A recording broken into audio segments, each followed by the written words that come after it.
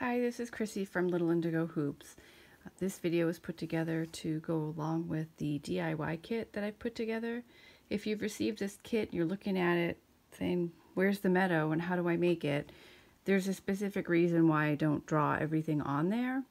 You should have a practice hoop and that's where you can get a feel for making the flowers and then from then on there everything is freehand and I'm going to show you how to do that. The reason I do that is because I don't want everybody to have the exact same meadow. I want you to use your imagination and I want you to pick a flower that you like more than the rest and maybe sprinkle those everywhere. Um, you know, I'm hoping that you'll find your creativity and make it uniquely your own. None of my hoops look the same, even if I try. Um, it's just not possible. You should just um, poke around the fabric and put flowers wherever you feel like it. Um, sometimes you'll make them big and small. And, you know, sometimes I'll only have one of something in here. Like I've got this little um, pink grass brush down here, but you don't see that anywhere else in the hoop. Um, you know, sometimes I'm going across and I have just enough left, so I'll pop in a French knot and then tie it off. Um, this is a heart-shaped one. And same thing, I just, um, well, I will purposely start on the outline and then fill down so that I have um, the shape of the heart. But otherwise, uh, you're just kind of doing your own thing with the meadow. And that's completely intentional. I do realize, though, that I left out some information in the instructions. I guess it would have been helpful to tell you uh, which things that I do first to make it easier. I did make a note about doing the woven roses and those are the only ones that I drew on there because you do want to make sure that those are even. So we'll do one together. Um, I like to do these first because you're working on the top side of the fabric. And if you have a lot of other stitching on there already, you, uh, you know, can potentially be getting caught up all the time. So I usually go ahead and put those on first. Okay, so you're just going to make your five spokes right here.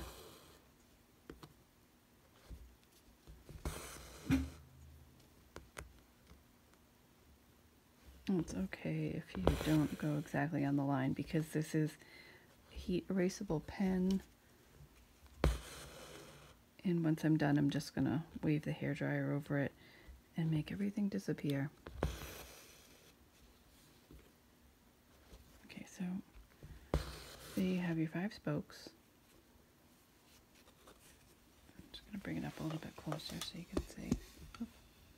So it's going to look like that. Okay. And then you were going to come up just as close as you can to the center anywhere in between any of the spokes. It does not matter. I usually do my first run under.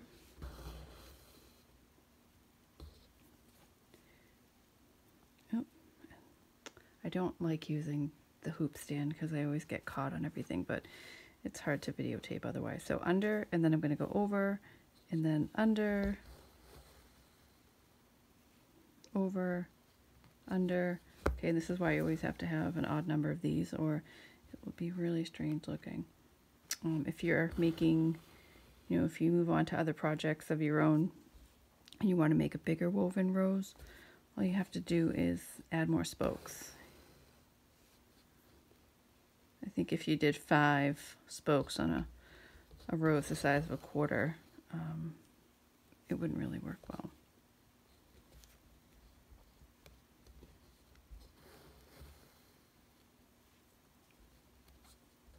Okay, so go ahead and go around and make your rose.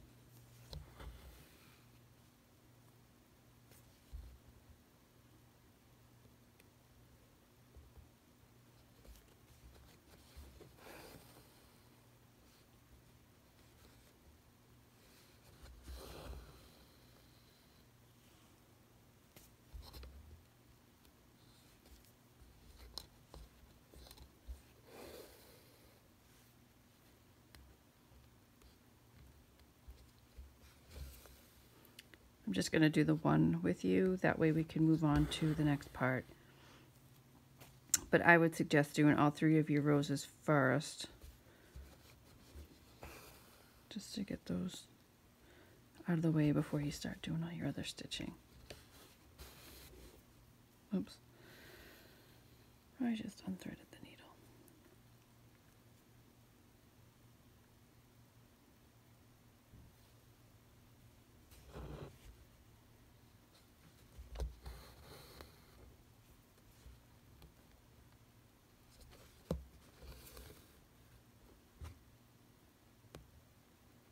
Okay, I think I'm just going to do one more pass.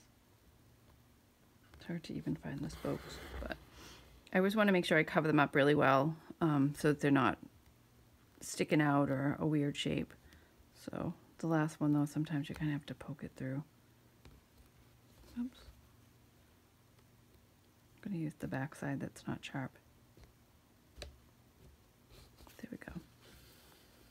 Okay, and then when you're finished, you're just going to come back through the fabric. If I were going to finish this off, which I am in this instance, I would flip it over and I would just run under the existing stitches like this. Just do that once or twice. You can also cut it and knot it, but once I get going, I usually just do this, run them under some stitches and be done with it, okay? Um, now I have pre-threaded some floss on needles so we can just move right along to the next one. Okay. So here I have, this is the full six strands. So I'm using the larger eye needle and I've already knotted it at the far end. This is the part of the instructions that I sort of skipped over. So you're looking at your picture and it already has stems and flowers and you're thinking, well, how did she get there? Um, this is what I do. Okay, so we already have our rose here, so we're going to go ahead and give that one a stem. So come up close to the edge, about like a quarter inch, eighth of an inch away. You just want to do that even around here. And, it, you know, but not each stitch has to start close to the bottom. You can start some in the middle, but you do want to fill in a good amount this way so it gives a good shape. So because we've already put our flower here, we're going to just come right under the rose, okay? And there you have a stem. It's just one big long stitch. Your fabric is so nice and tight that it's going to work out fine like that. You don't have to do tiny little back stitches unless you want to, but I don't usually do that. I just do one big stitch. So now you've come up right, uh, gone down right here, so your needle is nearby. So just pick a spot, go back in, and then come down close to the edge. You can usually feel the inner hoop. That's about the spot where I go into. Okay, I'm doing this sideways because of the hoop stand in the camera setup, so it's not too awkward to watch. Okay, and then just, and then I'll show you what happens with the, um, you know, I'll give this guy a stem right away. Um, it's hard to do if it already has a stem because, as I said before, when you're working on the top side, you can get caught up, but I think I can manage just for this. So you're just going to keep going like this and work your way across the hoop. I know it looks completely random. Um, and a little bit of it is random, but when you fill it in, it's just going to look really nice. You just have to be patient. Caught the back side of that.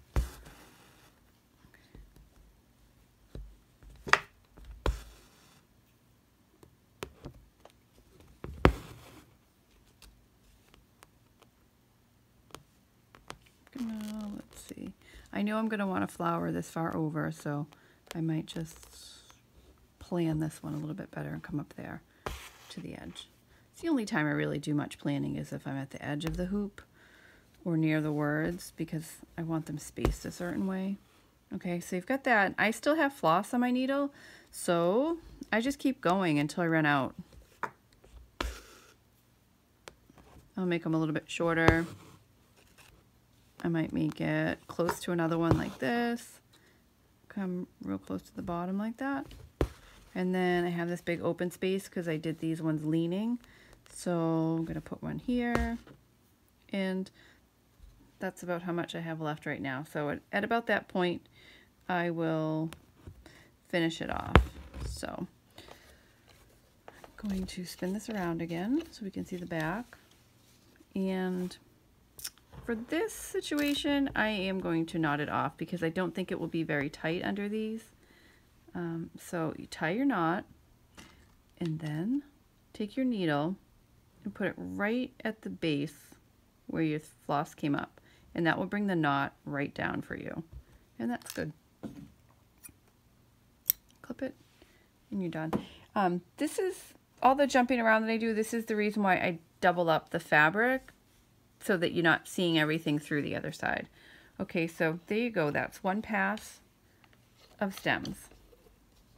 Then I will pick up a color and I have this very light purple. In this one here, I did, I split the floss. So this is just three strands and I have the smaller needle. Okay, so I will just start here and come up. It's really hard to see. And I go, you can go in right at the top of the stem or you can go in just above it. I usually go just above it to, um, I don't know, if I need to give it more height.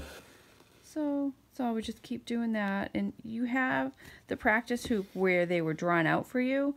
Um, that's just to get you started. So now you should be able to do them freehand. There should be extra fabric if you don't feel confident and you want to practice a little bit more. It's completely plain and you can try them out. If you feel like it, mean, you could draw them on here, but I don't really think that you need to. Okay, so there's that one. And then, you know, if there's a big space, I might toss in a French knot while I'm moving over. One, two, three. Make sure you hold that piece tightly until going in. You want to have that tension on there um, to make the knot nice and tight. Otherwise, it will be loose and floppy. Okay, so then I just do another.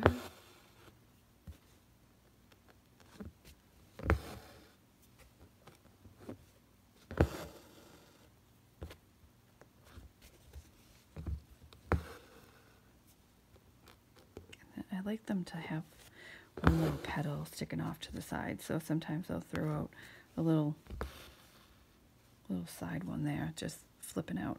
Okay, and then again, I might throw in a French knot. I think I did four. One, two, three. I mean, you can do four, but I usually stop at three. Okay. Um, you can also make flower wherever the heck you want, even if there's no stem there yet. Maybe you say, you know what, I'm going to want a little bit more purple here. And you can go ahead and make a flower.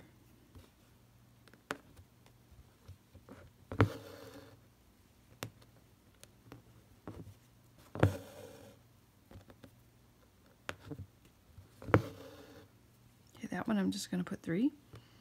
And then I'm going to come back up to this one and maybe, maybe we'll, this guy will get five or seven.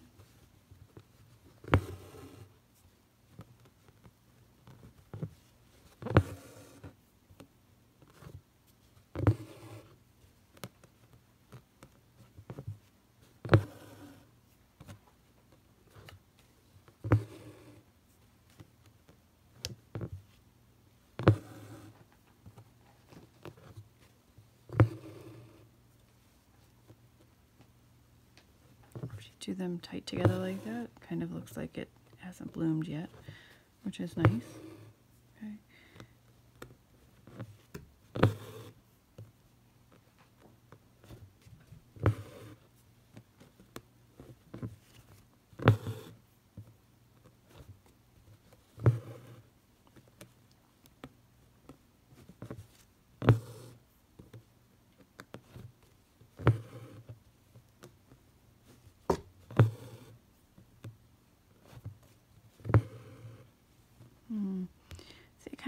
Way this one looks because the outside petals are longer than the inside petals. So then I'm just going to come and add another one. To change the size of it. Okay, and another one just here.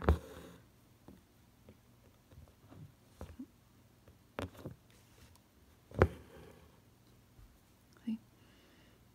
All right, and then I think I have enough to do one more. I'm going to put one right here.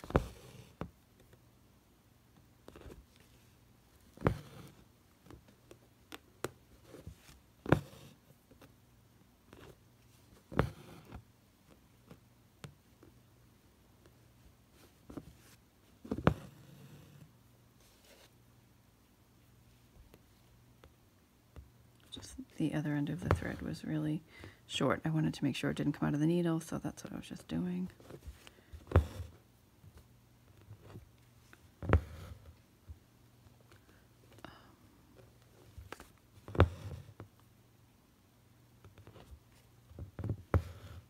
Okay, so I don't really have much left for purple floss, so I'm going to flip this over. Okay, and now we have a lot of stitches here, so I will just run it under a bunch like that, and I will come through again. I don't want that one. And just snip that off.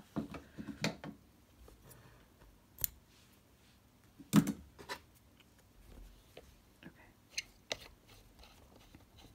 now, you'll notice there are more stems than there are flowers, and that is completely fine.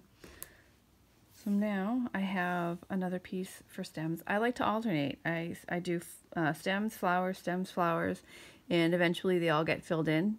Maybe, maybe not. Sometimes you'll just have a stem, and that's fine. So this one is already knotted, and I'm ready to go.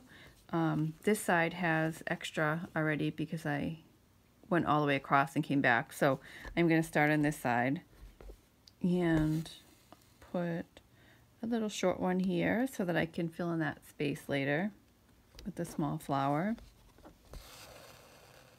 Okay, and then up, just up and down. That's it. If you want, you can give this French knot a stem. A lot of them just float around the hoop.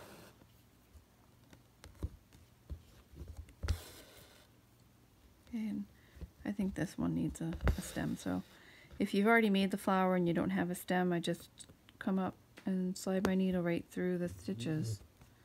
Mm-hmm. There you go. That's all there is to it. I think we need something taller here.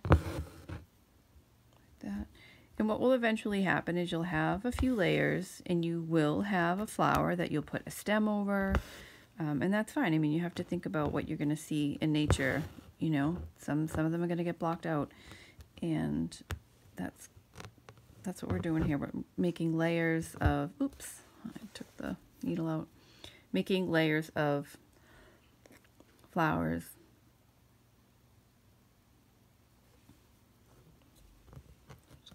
here.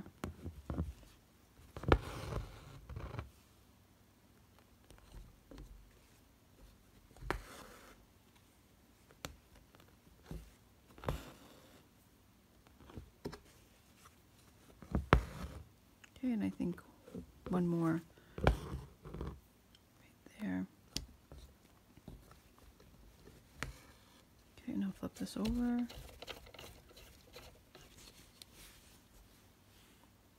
And I think this one I'm going to tie because it's hard to get under those stitches at the bottom of the hoop. So I'm just going to use the needle to guide the knot down to the bottom. And that's it. I will do, let's do one more flower.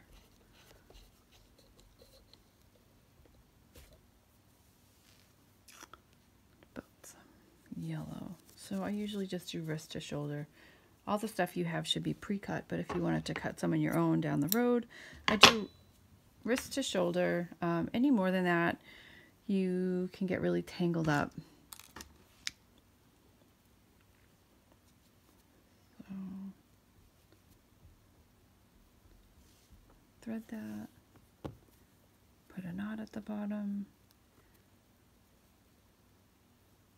Knots can be tricky sometimes. Um, if I'm doing lettering and stuff, sometimes I will um, not knot it and hold the floss down in the back with the first few stitches. It takes a little bit more time, but sometimes when you're stitching and you're trying to go back down the same hole that you started, um, the knot gets in the way. I've had that happen a few times, so that's one reason why some people don't knot them.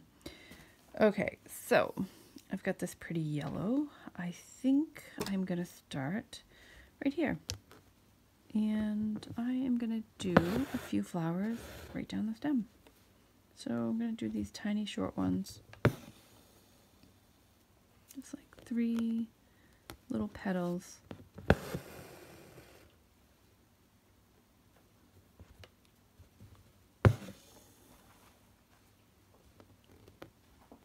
Actually, it looks good with just the two. And then I'm gonna move right down the stem.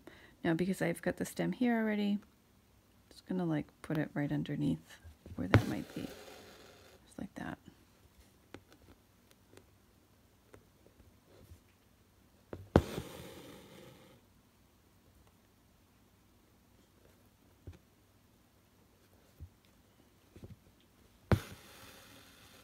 And this one is going to get the third one. I think it needs it.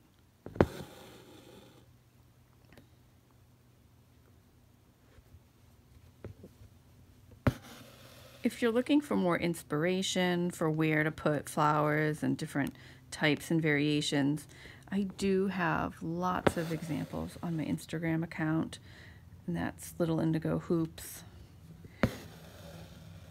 I actually go to my own work for inspiration sometimes. I'm thinking, oh, I need another flower. What haven't I done in a while? And I'll go look at the hoops that I've done um, and, and kind of scan through all of them. And sometimes I forget about certain flowers. Okay, so there we go. We've got those little guys there. And I'm gonna I'm gonna do is I'll show you a few flowers. I'm gonna grab some pink. Like a mauve.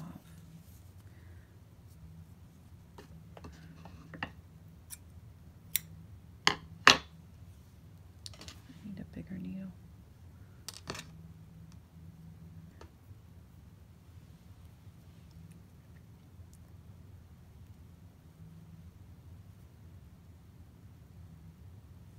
Okay. Sorry, I just didn't have this one ready to go.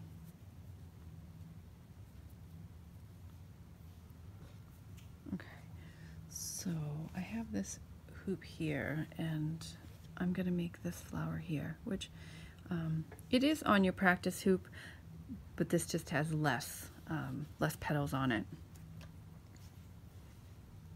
So it's kind of a star and I'm gonna go right to the edge here.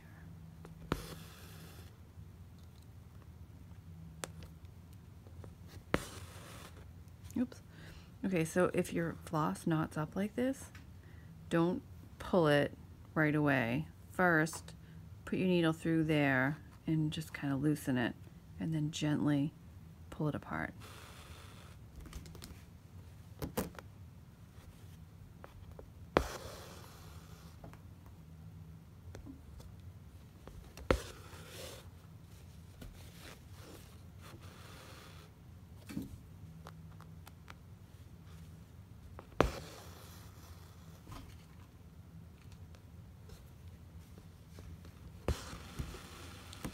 I have a wild kitten that is running around under my feet, so I'm hoping she's not going to jump up here.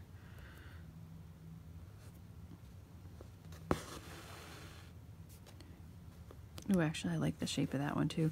I mean, that would be a nice looking flower too, but since I said I would do the star shape one, I will keep going.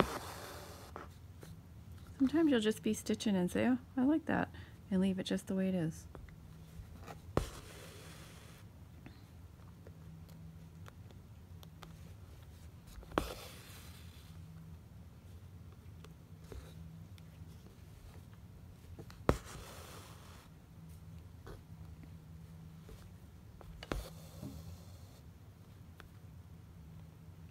You don't always have to go back through the middle hole.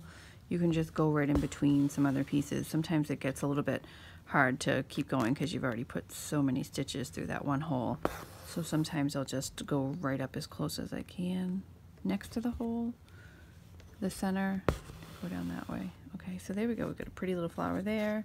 And I'm just thinking about this one is going to have a stem down, so where will I want to put the next one? Maybe a little bit smaller, but similar. So...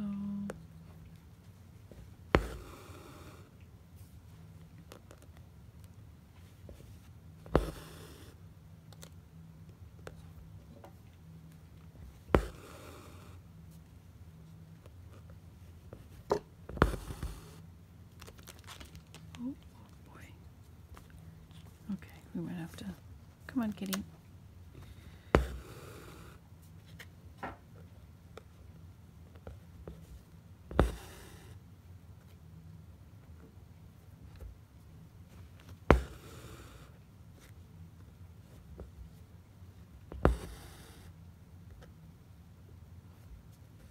Okay, and then after this, I think we'll stop.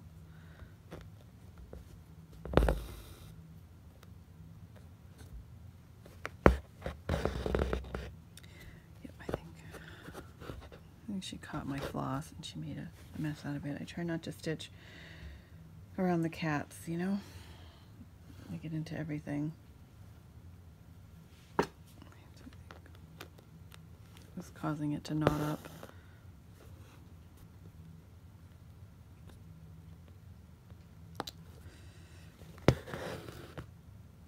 Okay, wait, you know what? I just want one more petal. So sometimes I'll just take a look back at it and see if it's done. And sometimes add something extra. Okay, so there. We're gonna stop there. Oops. Try to bring it up closer to the camera.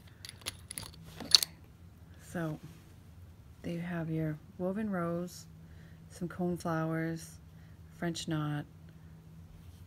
I don't have a name for those. And um, these guys here, I feel like they look like chrysanthemums. Uh, so that's what you're going to do. You're just going to do a pass of stems, then come across with flowers, and then you're going to do another pass of stems, and then come across with flowers, and then eventually your hoop will look like this, okay?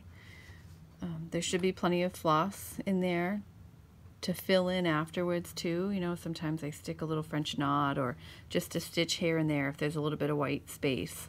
Um, so I hope that you found this helpful.